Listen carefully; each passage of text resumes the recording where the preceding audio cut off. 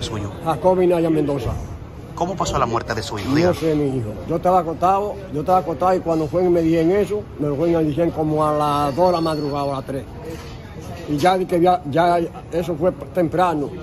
Y cuando vamos, eh, fuimos, los hallamos muertos. Ya estaba, ya no estaba arriba, estaba en el, suelo acostado. ¿Qué presentaba el cuerpo? ¿Qué tiene el cuerpo de él? ¿Qué presentó una herida en una de sus piernas? estaba aquí. Que fue una, ese, que se cayó por una... no, Tratando de subir una pared, una, una trinchera. ahí, ahí, ahí quedó enganchado. ¿Dónde, No. fue, ¿Dónde fue En específicamente? las rosas se no vi, en los indios. No, no se sabe todavía cómo fue, cómo fue eso. ¿Cómo se llamaba su hijo? ¿Eh? ¿Cómo se llamaba el hijo suyo? ¿Su hijo cómo se llamaba? ¿El hijo mío? Sí. Casimiro Minaya, Mendoza. ¿Qué pide usted ante las autoridades? Que se investigue. Eso, eso, eso, eso yo quiero. Saber qué, qué fue lo que pasó al hijo mío. ¿Por qué? Porque está ahí. Está ahí ti- tirado y, y- y está adentro de, de- de- de- de la casa. Pues entonces, ¿cómo se iba a tirar ahí? ahí? Y entonces, si había, si quedado en- en- en- en- en- en- en- enganchado, los hayan enganchado, entonces los hayan en el suelo bo- bo- bo- bo- bo- boca arriba. Ajá. Si se había muerto en- enganchado, ahí, ahí, ahí, ahí se apea. No, estaba- ya estaba en el suelo. Hay que saber cómo le pasó a eso, si fue que se murió algo.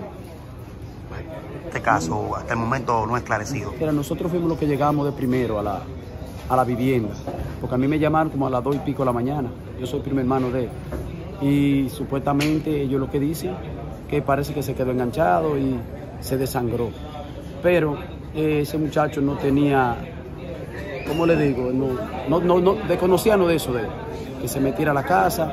¿No tiene un historial de robo? no, no, no, no. Todavía por robo, él no había caído preso ese muchacho. ¿Entiendes? Pero nada, esperar la autopsia y que las autoridades determinen eh, si hubo una mano, eh, ¿entiendes?